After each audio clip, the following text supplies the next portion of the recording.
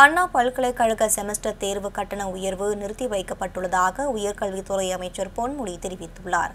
அண்ணா பல்கலைக்கழகம் மற்றும் அதனுடன் இணைக்கப்பட்டுள்ள பொறியியல் கல்லூரிகளில் பயிலும் மாணவர்களின் தேர்வு கட்டணம் பட்ட சான்றிதழ் கட்டணம் ஒருங்கிணைந்த மதிப்பெண் சான்றிதழ் கட்டணம் ஆய்வறிக்கை கட்டணம் ஆகியவற்றை ஐம்பது சதவிகிதம் உயர்த்தி அண்ணா பல்கலைக்கழகம் உத்தரவிட்டிருந்தது. மாணவர்களின் பொருளாதார நிலையையும் நலனையும் கருத்தில் கொண்டு தேர்வு கட்டண உயர்வை அண்ணா பல்கலைக்கழகம் திரும்பப் பெற வேண்டும் என்று பாமக நிறுவனர் ராமதாஸ் உள்ளிட்ட பல்வேறு அரசியல் கட்சி தலைவர்கள் வலியுறுத்தினர். இந்நிலையில் மாணவர்களின் கோரிக்கையை ஏற்று அண்ணா பல்கலைக்கழகத்தில் உயர்த்தப்பட்ட தேர்வு கட்டணம் நிறுத்தி வைக்கப்படுவதாக உயர்கல்வித்துறை அமைச்சர் பொன்முடி தெரிவித்துள்ளார். இதுகுறித்து சென்னை கிண்டியில் அவர் செய்தியாளர்களை சந்தித்தார்.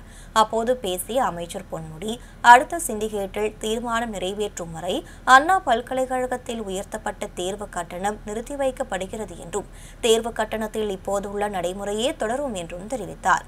மேலும் இந்த ஆண்டு மட்டுமல்ல அடுத்த ஆண்டும் தேர்வு கட்டணம் நிறுத்தி வைக்கப்படுவதாகவும் தேர்வு கட்டணத்தை உயர்த்துவது மாணவர்களை பாதிக்கும் என்பதை கருத்தில் கொண்டு தற்போது நிறுத்தி வைக்கப்பட்டுள்ளதாகவும் அமைச்சர் பொன்முடி தெரிவித்தார்.